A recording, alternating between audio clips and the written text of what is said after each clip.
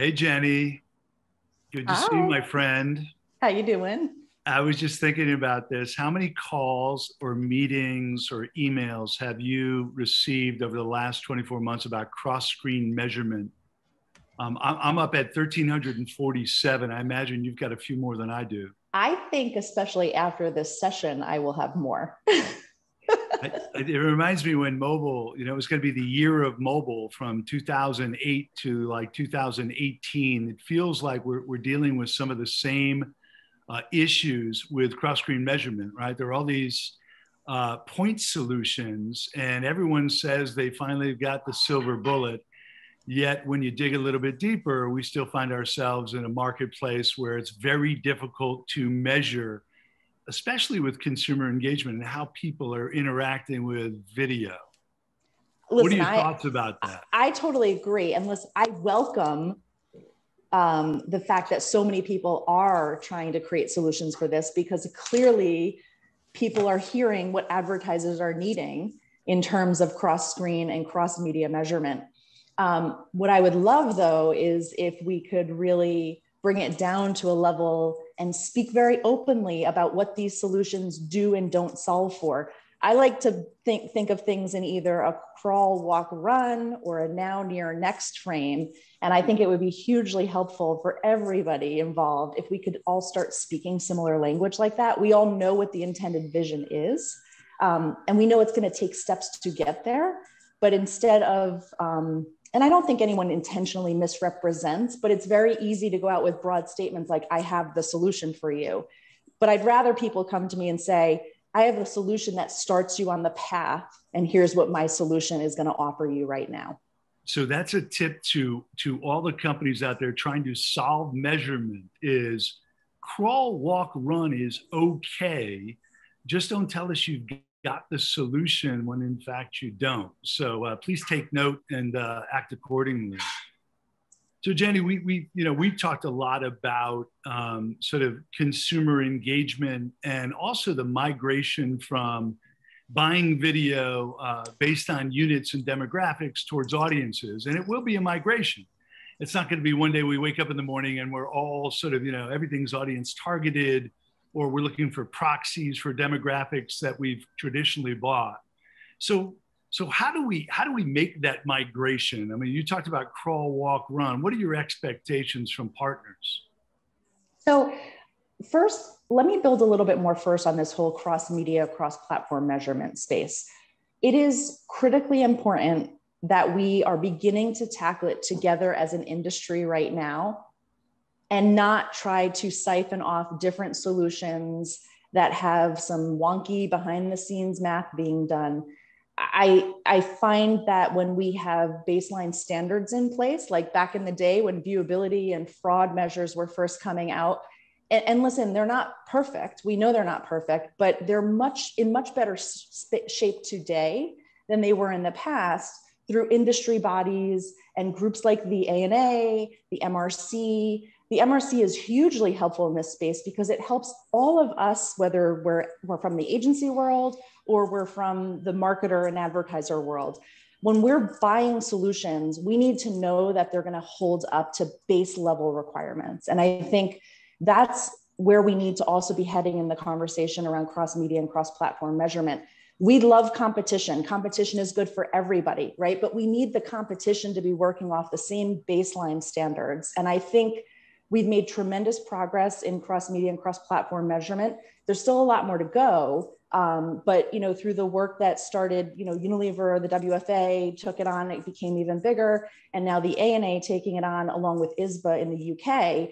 There's a lot of promise around creating these baseline blueprints and standards that I think a lot of companies will find um, very helpful to create that baseline and then and then build off of.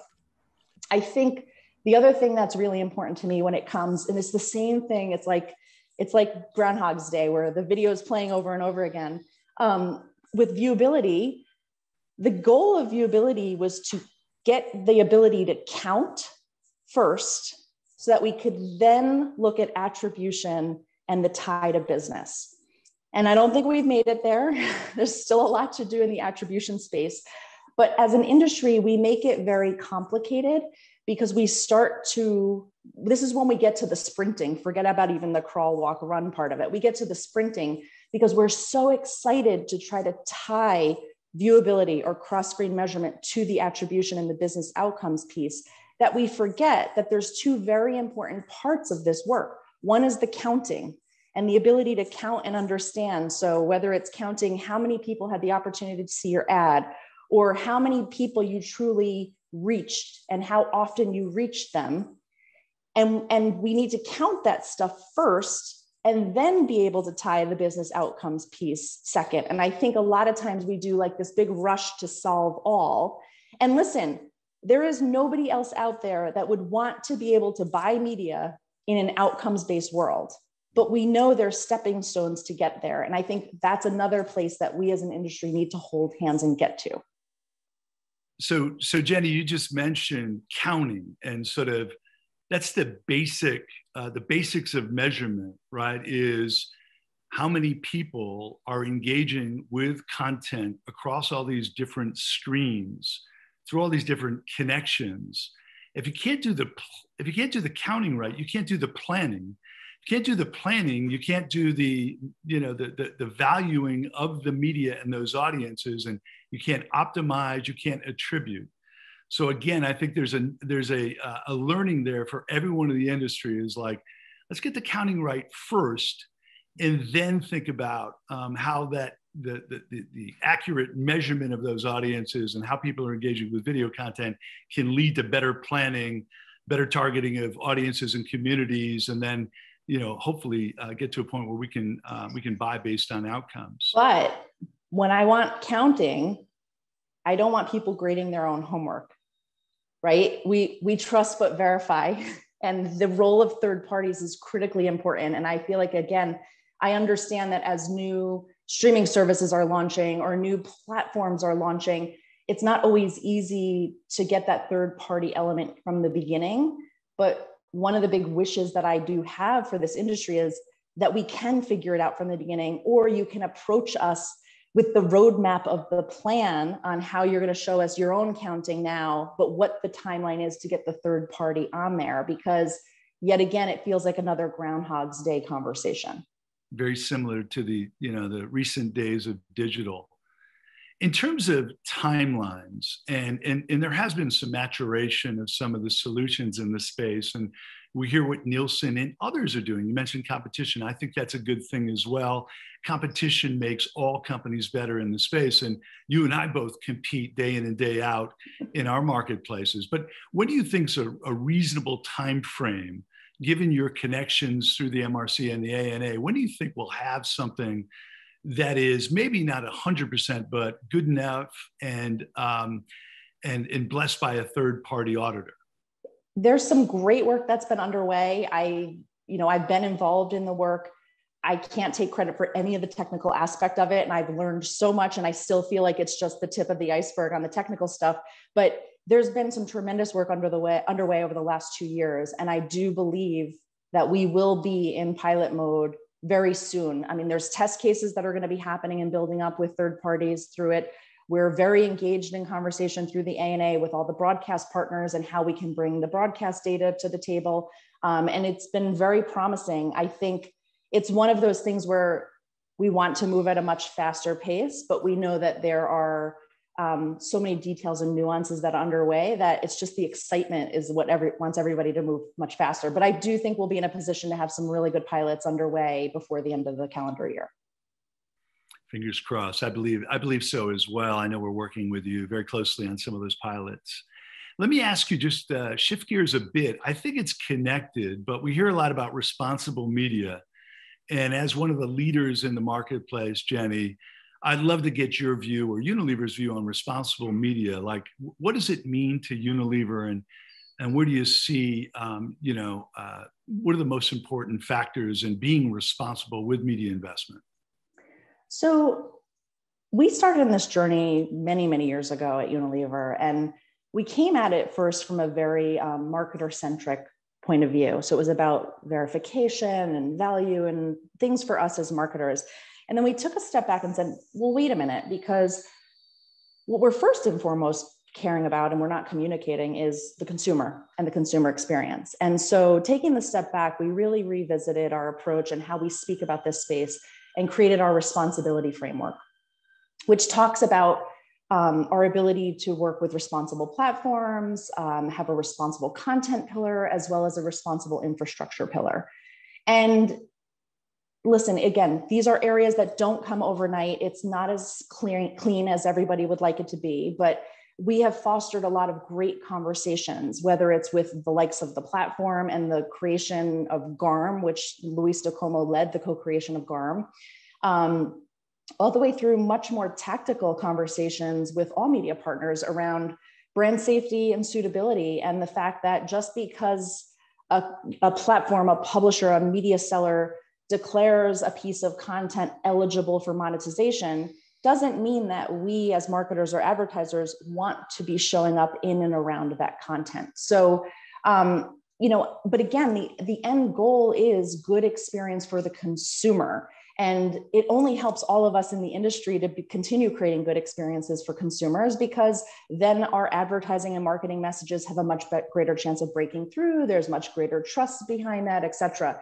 Um, from a personal standpoint, when I think of responsibility in the media ecosystem, to me, it's just about making things better. You know, like just because the industry was a certain way when I joined it way back, and I'm not going to say when, um, doesn't mean that there wasn't good and bad to it. And, and again, we don't want to throw the baby out with the bathwater, but there are things we should be doing to improve and we should be doing it to improve for ourselves but i also think we should be doing it to improve for the generation that's coming up behind us. I'll just point out that uh, my first job at fairchild publishing jenny i think you were probably in second grade. So jenny we talk about responsible uh, media um, quite a bit and, and unilever's been a leader acknowledged leader in the space um, more recently, we've been talking about um, the ethical use of data, when to use it, but more importantly, when not to use it. Just having access to data doesn't mean that it's a great consumer experience. Talk a little bit about Unilever's perspective on, on data usage. Ethics is a very important level layer for anything that we do here at Unilever.